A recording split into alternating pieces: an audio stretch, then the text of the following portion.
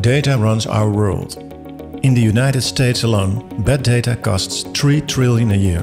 And with nearly 28 billion devices coming online by 2022, this problem is becoming exponential. To realize the vision of connected 1.6 trillion IoT world run by data, emerging decentralized networks and blockchain are essential.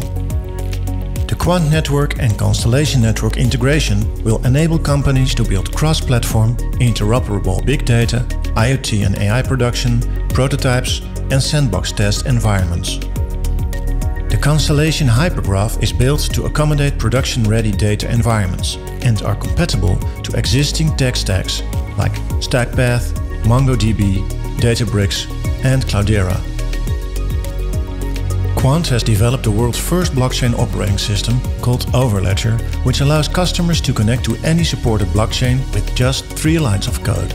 This integration will be powered by Constellation's Hypergraph and Quant's Overledger's interoperability capabilities with 11 permissioned and permissionless blockchain networks and protocols.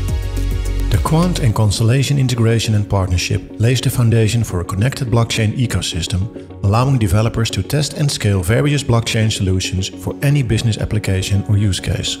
The goal is to lower the barriers of entry to blockchain technology while providing the ability to migrate existing data to a scalable production-ready environment.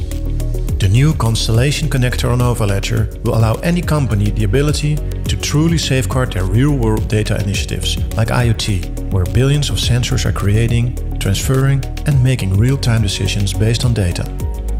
The Constellation Quant integration lays the foundation for a connected ecosystem focused on scalable adoption by providing end-to-end integration, security and application support for a world driven by artificial intelligence and big data. This is just the beginning.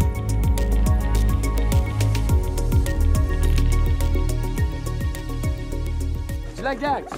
Sure. I like dags.